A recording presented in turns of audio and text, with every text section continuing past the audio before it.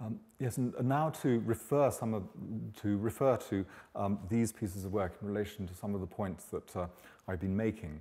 Um, they, they use um, energy, they use the natural energy in the universe.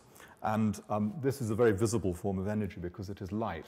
And um, these pieces of work essentially inhale light and then exhale light in a continuous movement. And I'm hoping, in effect, that the, the contemplation of these pieces of work may give rise to a sense of each individual entering into a deeper connection uh, with, with the universe, a deeper connection with nature.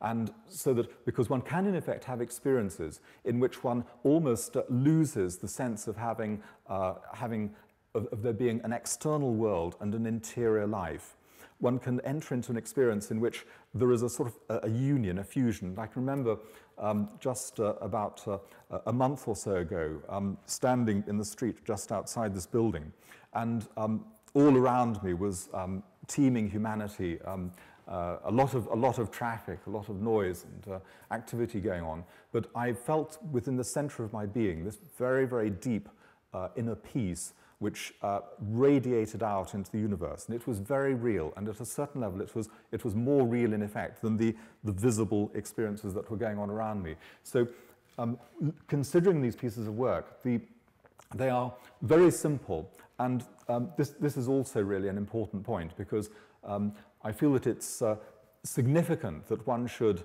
um, try to consider one's own qualities and characteristics of a human being. And uh, I'm very much drawn towards uh, individuals who, uh, in whom one, for example, finds a measure of um, purity, innocence, and simplicity, which of course is not judgmental.